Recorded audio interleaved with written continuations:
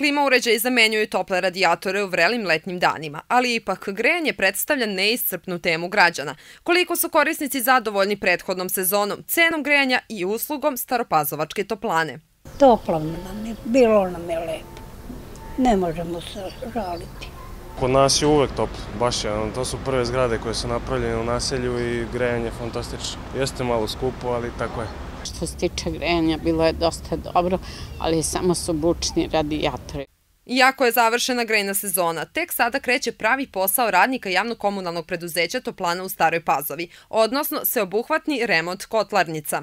Ove godine nas očekuju svi pumpni agregati i ovaj, da probamo da sredimo sve elektroormane, a kako bismo probali da ove godine, sve naredne godine potrošimo nešto malo manje električne energije. U Staropazovačkoj opštini oko 1800 korisnika i blizu 110.000 metara kvadratnog stambenog i poslovnog prostora se greje iz četiri kotlarnice. Od toga su tri u Staroj Pazovi i jedna u naselju Banovci Dunav. Ukupna snaga svih iznosi 18,4 megavata.